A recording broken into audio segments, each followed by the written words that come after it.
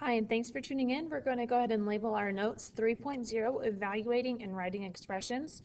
Today we're going to be writing down eight things and trying eight questions.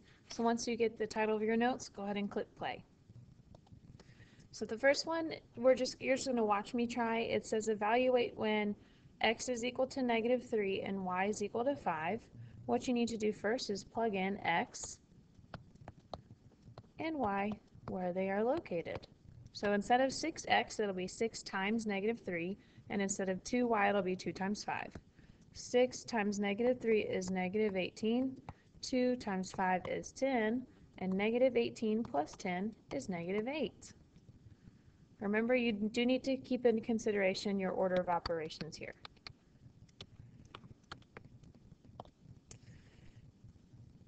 Next two you're going to try, so go ahead and try these.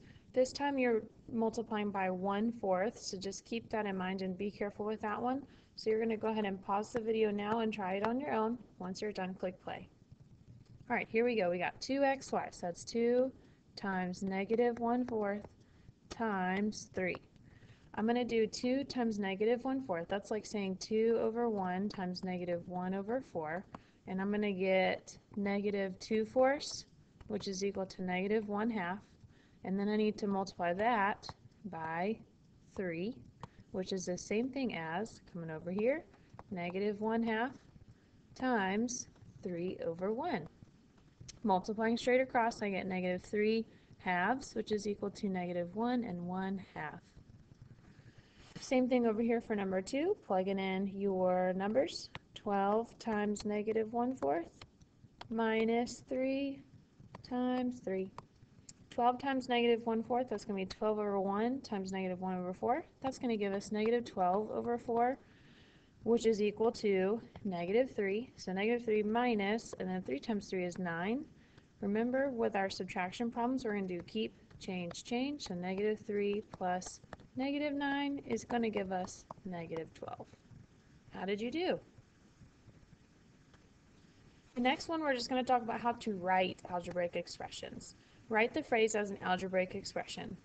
This just means you're going to see you're going to see numbers and letters or constants and variables mixed into the expression. The sum of twice the number m and 4 means that you're going to add 2m plus 4. 8 less than 3 times the number x means that you're going to be subtracting 8 from 3 times x. You will start to see some of these key terms um, on the next few pages when you're going to try writing algebraic expressions yourself. So just make sure that you are aware sum is addition, product is multiplication, quotient means to divi divide, less than, minus, and difference all mean subtraction. Let's go ahead and get you to pause the video here and try the questions. Once you're done, click play to check your work. So this one, number 3, says 5 more than 3 times the number q. So 5 more would meaning be plus, so 5 more than 3 times the number q. So that's 3q, or 3 times q. Um, it doesn't, for this one, it doesn't matter what order you put it in, so you could have 5 plus 3q, or 3q plus 5. The product of a number p and 6. Product again means multiplication. The proper mathematical way would be writing it like this, 6p, but you could have also written as p times 6. You cannot write it like this. p6, that does not represent anything. So just make sure, I prefer you to write it like this with the number in front followed by the variable. Number 5 says 4 more than 3 times the number t. Again, kind of like number 3. 4 more than 3 times the number t would be 4 plus 3t, or you could do 3t plus 4. The next few you're going to try as well. Again, go ahead and take time now to pause the video. Click play whenever you're ready to check. So these get a little bit tricky because it says 9 less than a number n, and a lot of people get confused here. When it says 9 less than a number, that means that the minus 9 needs to go last. Because say for instance you're doing 9 less than 10. Okay, you wouldn't do 9 minus 10 because what you're trying to do is figure out how much is 9 less than 10? So you have to start with this part first and do 10 minus 9. Same type of concept here.